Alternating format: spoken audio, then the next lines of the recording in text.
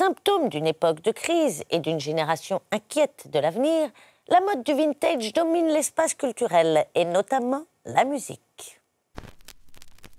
Après l'inattendu retour en grâce du disque vinyle, c'est maintenant au tour de la cassette audio d'être plébiscitée par les mélomanes et par des artistes comme Selena Gomez, Lady Gaga ou Justin Bieber.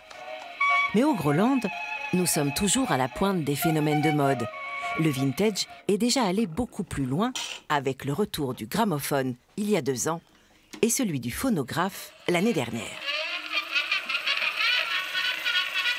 Quant à cette année, la tendance est maintenant au troubadour de salon, un support musical vintage Bonjour. Bonjour. qui s'impose comme la meilleure façon d'être à l'avant-garde de la marche arrière.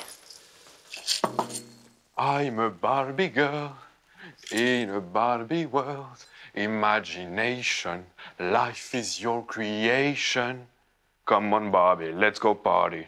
Le troubadour de salon, le dernier support à la mode, qui devrait rapidement vous faire revenir au numérique.